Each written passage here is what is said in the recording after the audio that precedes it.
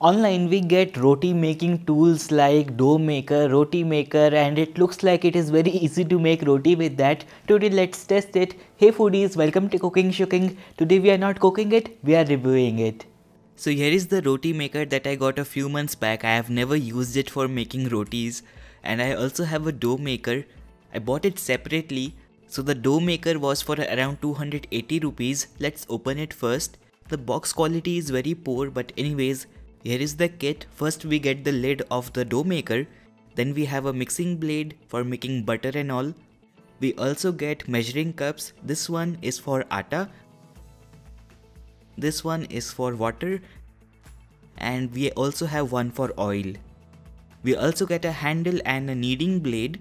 If we go by the box, this one looks like to be a two blade kit which means a kneading blade and a mixing blade and this bowl looks like to be returned because there are a lot of scratches and it is slightly oily also.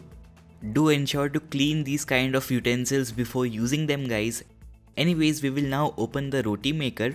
I bought it separately as I said earlier now let's open it. First we get a manual with the instructions it is hard to figure it out these kind of stuff because too many things can go wrong. This is not a mobile phone guys. So do read it carefully and then we also get a DVD in case you don't want to read it and watch it. Now let's take this out and this one is from a reputed brand so the quality looks good. We also get a step-by-step -step guide to use it as I said earlier and to maintain it. Now let's put it together and make the dough first so here is the dough maker and in the bowl we are going to place the blade first. This one is the mixing blade. You can also use the kneading blade. I think this should work better. Now we are going to add the atta into it. We got the measuring cup right. I'm going to take 2 cups right now because 1 cup will be very less for this big of a bowl. So 2 cups of the atta is going in.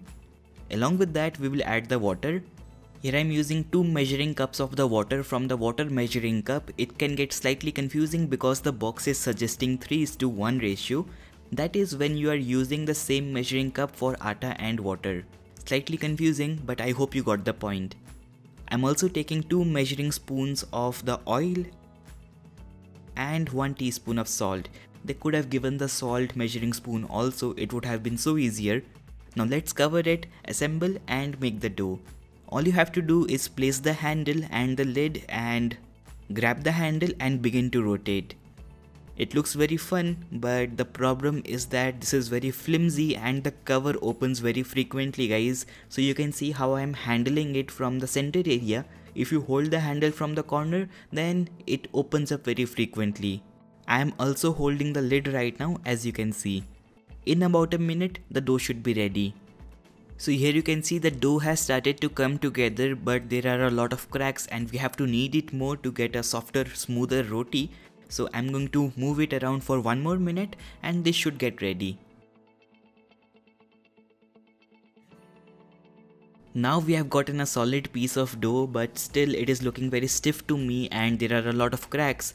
So what I'm going to do is knead it for about 30 seconds by hand just try to mash it something like this and the dough should be softer. There, you can see it is looking much more smoother right now and this should get us better rotis. Now let me keep it inside this itself for about 30 minutes. That is what the box and the manual suggests to get a better roti. After 30 minutes, we will make the rotis. Here you can see the dough is well rested and it is looking relaxed right now.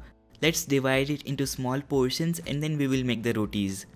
This is a medium stiff dough as I can feel it right now. Time to see how it performs and how puffy and soft our rotis are. Let's also heat our roti maker. Once the green light goes off, it will be ready. That's what the manual is suggesting. Till that time, let's smoothen the dough portions. We need about 1.5 or 2 inches in diameter. Here I have made the dough portion very smooth by kneading it by hand but the temperature is looking very low. We need the roti maker to be hot for making soft roti. So I'm increasing the temperature. Higher the temperature softer the roti will be. But if it is too high then the roti can burn also.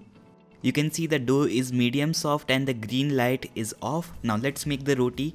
We have to keep the dough portion near the hinge. And this happened. One more time we will press it. And this one now looks like a round roti guys but the cracks aren't looking very good. We will now cook it by flipping it once the bubbles are there and then we will cover it to puff it. So this one is the first roti and it did not puff too much guys and you can see the roti is kind of raw from sides also. It is very thick. So let me try again. So here is the second one going in. I wanted a thinner roti so I'm pressing it and it is slipping off again and again and now it teared up. So maybe too much pressure from my end. Let me complete this. I will clean it once and then we will make another one. This one is again slipping off.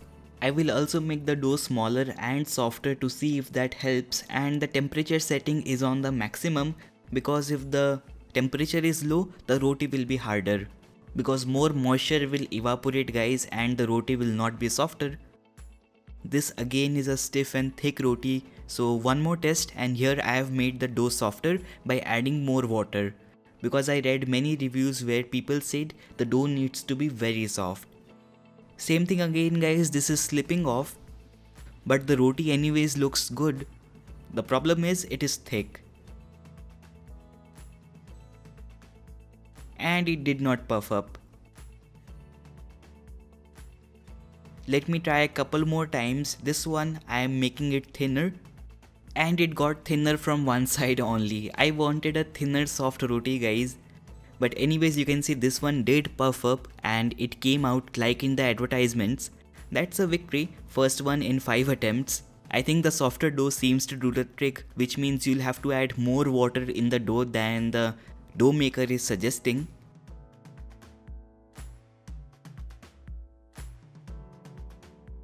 Here I am trying again and this one is much more thinner than before and it is puffing up also.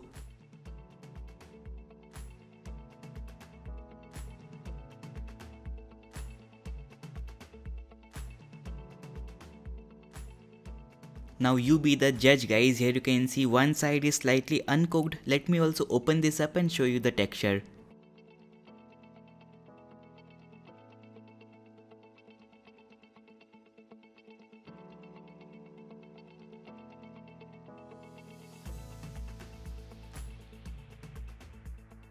So my verdict is that it is not a very refined product in the sense in the box it suggests that you have to use 3 to 1 ratio of water whereas we get different measuring cups for atta, water and oil so it gets kind of confusing and even with that ratio the dough is not very soft for making the rotis. So I think you need some skill for making rotis with this also.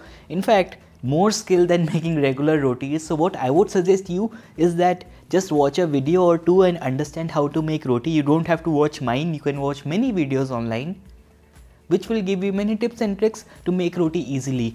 I forgot to mention one thing guys, one use case scenario might be that you can begin to make rotis with this if you have not learned it so far. It's a good starting point. So my final verdict would be if you are already making rotis then don't waste your money in buying this. If you haven't learned making rotis and you just want to make rotis once in a while and thicker rotis are fine then you can buy it at about 50% discount.